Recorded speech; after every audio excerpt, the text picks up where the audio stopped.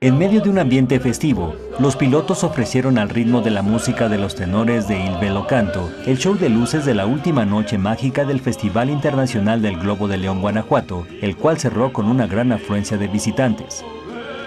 Minutos después de las 6 de la tarde, los pilotos junto con los voluntarios llegaron al aeródromo a bordo de sus camionetas, provocando gran furor en los asistentes que emocionados gritaban y aplaudían mientras que de los quemadores se desprendían llamaradas. En el parque metropolitano los equipos se instalaron, bajaron sus canastillas e intentaron levantar los globos, pero debido a las fuertes corrientes de aire no pudieron ser inflados. Una hora después los asistentes encendieron sus globos de Cantoya, que como ya es tradición, iluminaron el lago del parque metropolitano al compás de los ritmos de los DJs locales. Minutos después de las 8 de la noche, la reconocida banda mexicana de rock, Café Tacuba, contagió de energía a los miles de fanáticos que corearon y bailaron sus grandes éxitos, así como los temas de su más reciente material discográfico.